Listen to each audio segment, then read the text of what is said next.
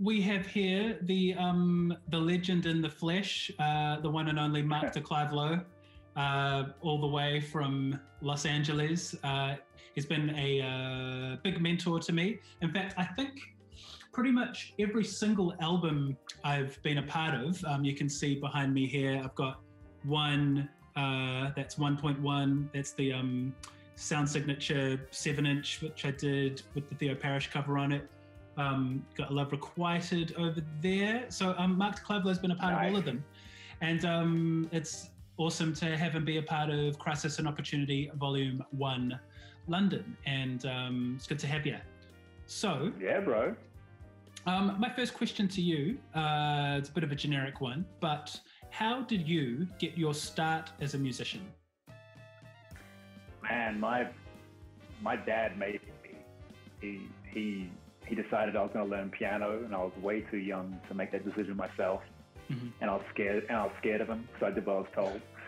Um, and that was pretty much that. Like I, you know, high school, I started dabbling with drum machines and, and mm-hmm. synths, mm-hmm. um, and then did a real deep jazz dive. And so there were lots of things that happened along the way, but at the root of it, yeah, my dad. Mm. He was he decided that all his kids would learn music, and for me, it stuck. Mm-hmm. Awesome. And um, how old were you when you moved to London? I was 23, 24 when I went there. Okay. Um, and I guess it, yeah. that being being in London for you, because this was not not to give away your age, but you know you're you're a well seasoned veteran of the scene now, and um, when when you were in London, it was sort of the cusp of um, broken beat music, which for me, I guess looking at the outside, was like this really interesting intersection of um, electronic music production, dance music, and jazz. I guess elements of jazz harmony and uh, to, to an extent, um, elements of jazz improvisation all kind of like merging into this crazy melting pot. And what was that like for you, um, being a part of that scene and the sort of that cusp of this new world of music that's coming up? No, one hundred percent, man. I mean, when I when I got to London, and it was 1998, and I remember you know, I met Phil Asher first, um, and Phil, rest in peace.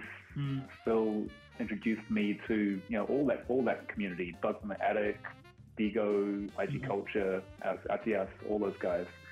I remember going to to Bugz Studio for the first time in early 1998, and there were albums which were already finished on the hard drive. You know, the the Afronaut album, the Neon Phusion album, something else, Osagian G-Force. You know, albums that wouldn't come out for still a couple of years but they're already finished. So the it's like the music was very fully formed at that point already. And for me, like I've, I've, I've said a few times that it was kind of like, it was like coming across this music that had, it was inspired by everything I'd ever been inspired by. And it was put together in a way that I could never have imagined possible.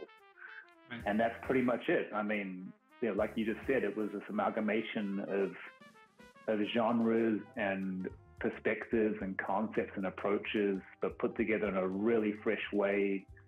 And and it wasn't scared of being challenging. You know, I feel mm. like I feel like acid jazz for all the all the good it brought in its own way, it wasn't it wasn't trying to challenge. You know, it was trying to kind of just sneak in. Right. And it was sort the, of like without without being dismissive, it was sort of it was quite functional music. Like yeah, a, to- totally. You know, if you had a soloist, it's like they're basically just you know someone just soloing over a loop, over right. a groove. Mm. Um, whereas Broken was much more. I felt was much. The, the assimilation was much deeper. Mm. You know, it wasn't just about treating the track like a metronome and blowing over it. Mm. Um, it was more about how do we. You know, there's a lot of subversity in it. Like how do you how do you how do you give the audience some really experimental shit but keep them grooving? You know? Mm. Yeah.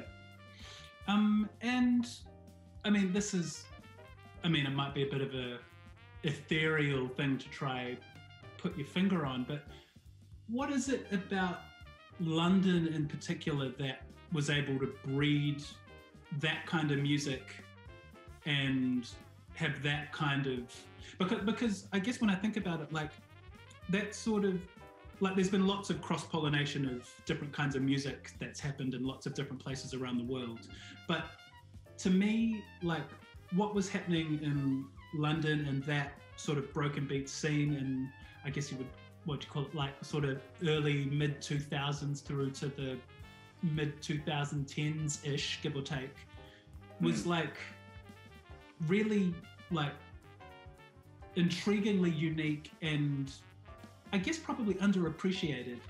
But the way that it took like so for, so firstly with like the drum rhythms not, nothing in electronic music was really coming at these kinds of rhythms in that way where there's this obvious sort of like Nigerian Afrobeat sort of Tony Allen kind of influence mm-hmm. in how producers were putting the drums together as well as like a lot of sort of Latin kind of rhythms and how that intersected but it was like so well produced from an electronic perspective that it made it hold mm. up against so much of this like I guess club music and that was maybe had a bit more of a static kind of rhythm behind it.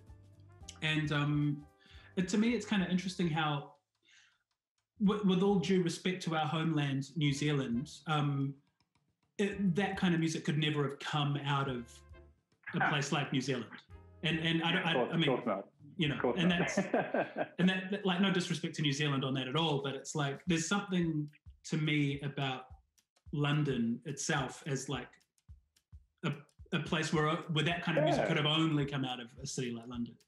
And I mean, London, London's a melting pot. You know, mm. it's like the that blend of, of like the, the, the socio-cultural blend of of the of the West Indies, Caribbean, all, all the Caribbean islands, and the African influence, and then the European influence. The way it's such a transitory kind of place, so you get people from all around the world coming through there.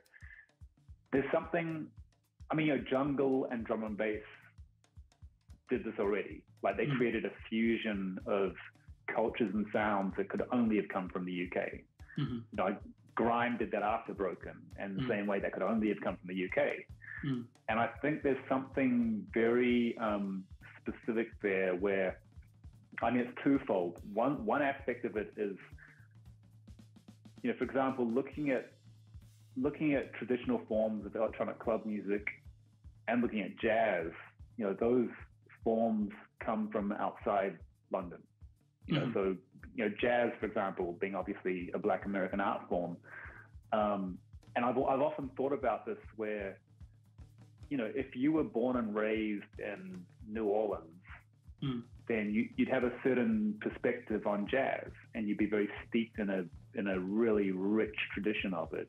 Mm-hmm. And if you were to choose to kind of do something more progressive and experimental with what you're doing, then it would, it would probably, from a New Orleans from a New Orleans perspective, it might be really progressive. But from looking at it from outside the states, it might just be a just a tiny bit different. Hmm. So was, I feel like it was it's harder when you're in the thick of a culture. It's harder to be objective about it um, and not feel kind of beholden to its rules and and legacy and tradition. Mm-hmm. So I feel like London's been a particularly great example of somewhere where you're able to reference things that are from other places, but because you're somewhere else and not in those places, it's easier to play with them.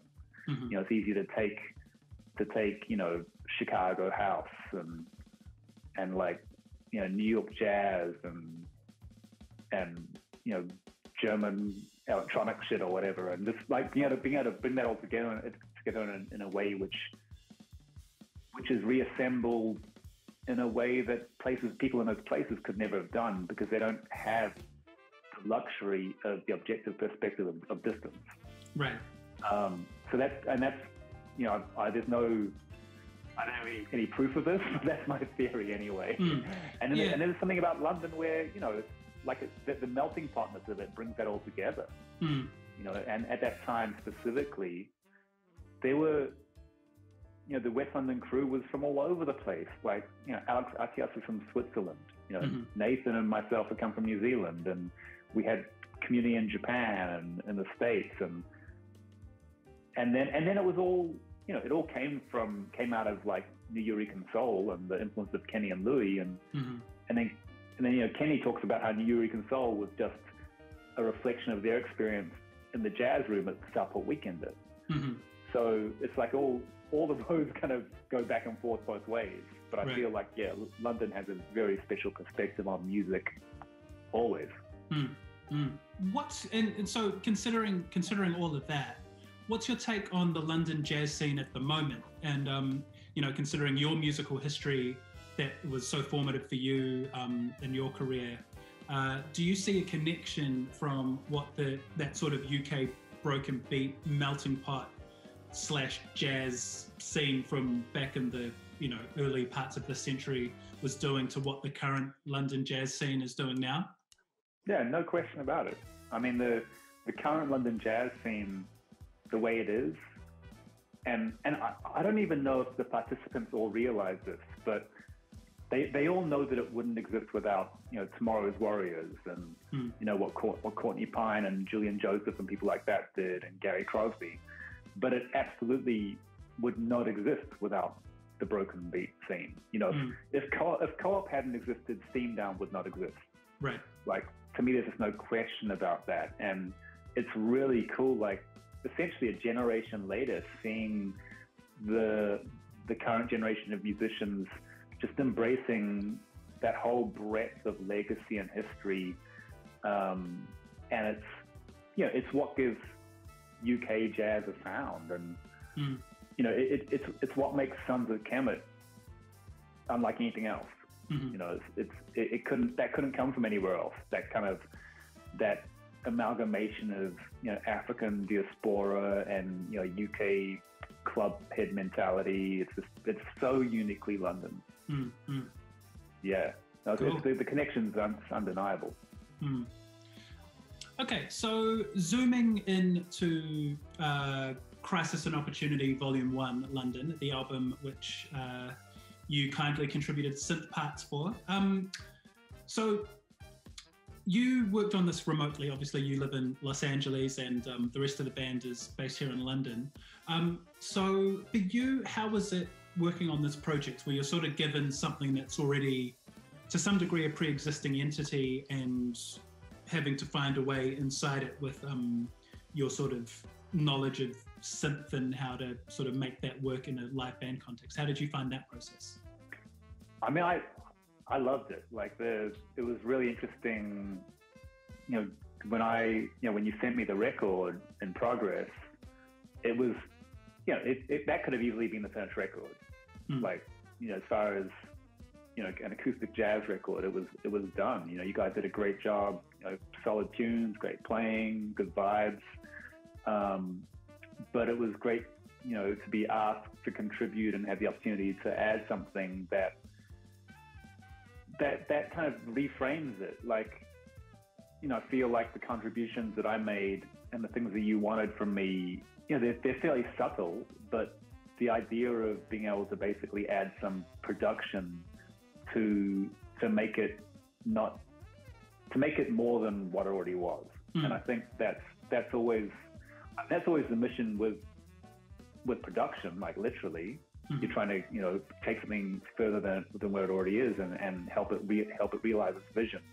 Um, and and you know, doing, you know, adding synth, synth parts and being able to bring a different sonic frequency and texture into it um, was just it was just fun. And you know, I, I know I know what you dig, um, and you mm-hmm. know what I you know what I you know what I dig. So it, it wasn't difficult to find those spaces. Um, and I, and I, I think it comes down to a little bit of irreverence too. You know, there's a there's a more the more traditional person might feel like it was kind of square peg round hole. It's like, well, here's a mm. here's a jazz here's a jazz was it a quintet or a sextet, and and and it's basically a finished record, and now we're going to put some synths in here. Like, know, right. that could be a little strange um, mm. to some people, but you know, for me, it's like I think it, it is a, a, a, a popular kind of mentality these days. It's like whatever, you know, it's just it's just some music, and there's no rules about what can or can't go in it. You know, mm-hmm. Mm-hmm. So yeah, just super fun to contribute. Yeah, and I kind of think, um, on reflection, listening to the record, to me it adds like like what you added as a synth performer slash producer or however you want to call it was like this layer of like it made it somewhat orchestral. Sure. With i mean obviously it's not it's not orchestral instruments but it was like it definitely created a layer of orchestration to it which i mm. think added so much more depth and color and um, it didn't take away from the live energy that was happening in the room but it just sort of you know it expanded the sonic width that the music had in a way that if I was to not that I've had lots of experience orchestrating for an actual orchestra, but like when you think of how great composers and arrangers write symphonies, there's like it's just using all of these different textures of an orchestra to kind of create a mood and a palette that's yeah.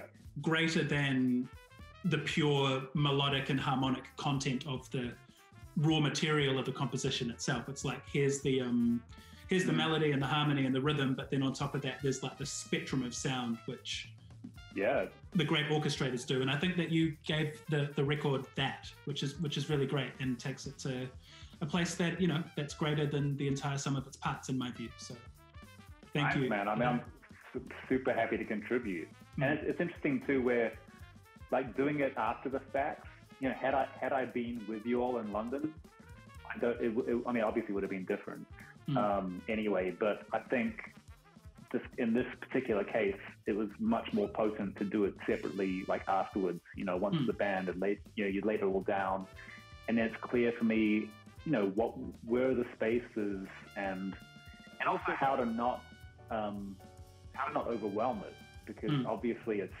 you know it's fundamentally an acoustic band project. So, like you're saying, it's, it's like adding those little bits. And it reminds me a little of, um, I remember when I was in, in, school in Japan, I go to this little jazz video DVD cafe called Swing. You could mm-hmm. just, they had hundreds and hundreds of DVDs and videos. Just request whatever you want.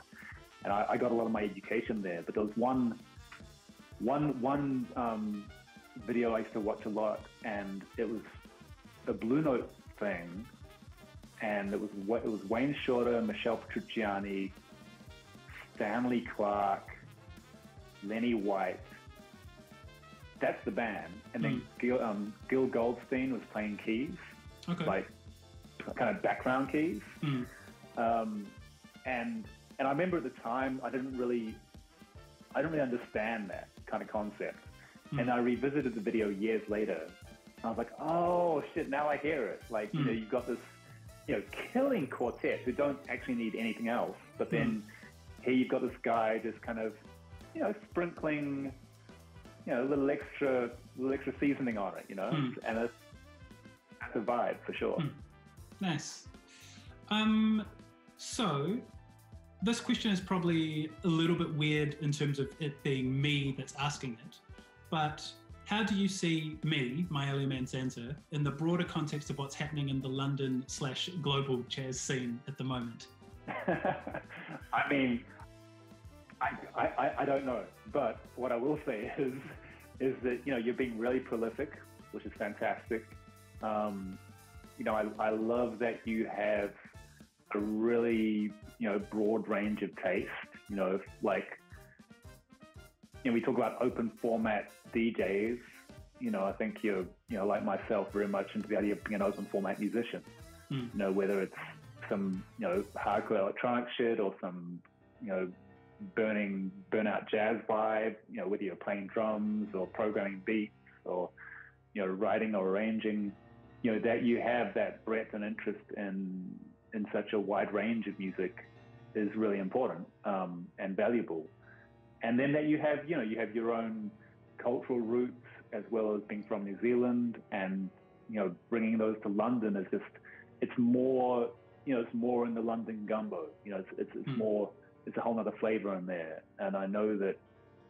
Um, you know, I, I know that there are, you know, you're you're a you're an individual, you you're unique. You're, uniquely you. You know, no one does you like you do you. And so offering that to the London community, I think is is really dope. Um, cause, you know, we all end of the day, it's I, I feel like you know, for my whole life, traveling, living in different parts of the world, collaborating in different parts of the world, that has always made me better, and it's always it's always been a contribution to wherever I've gone. Mm. And you know, I see you doing something similar in your own way. So I think yeah, there's only only good things to come from that. And and you know, if you if you keep keep up this level of prolificness, and the, the box set's not far away, so it's all good. yeah, yeah. Awesome, cool. And uh, last but not least, um, how have you personally adjusted to life in lockdown? Um, and how have you found it's affected your career and your musicianship and anything else that you would want to add for you? I mean, I guess in particular because you're in Los Angeles right now, which is still like, I, I get the impression it's probably about the same level of locked downness there that it is here in London. And how's it been for you? Yeah, I imagine you're right. Um, I think in terms of you know kind of career and musicianship like it's it's way too early to tell. Like if we have this conversation in ten years' time, I'll have some perspective and be able to tell you. Mm. Um, but the biggest change for me has been being in one place. Like I haven't been in one place this long since 1999. Wow. And you know, I've literally been on tour for 20 years nonstop. And so, like, that that's obviously a change. Mm. um, and I've, I've really enjoyed it. I've really enjoyed being in one place, being able to focus my energy in one place. Um, you know, touring touring has, has been very physically taxing for me. Just the partly the nature of just hopping on and off planes every night, but also, you know, I carry a lot of equipment, mm. setting up, pack, packing down. It's just, you know, physically there's wear and tear on that. And at the start of the pandemic, I happened to have my like I had a, had a back issue really show its ugly head big time, mm. and you know that's pretty much coming right now. But I do know that had I been touring last year, then it may have gotten like really really bad. Mm. Um, so on a physical level, I'm really grateful to have had this break.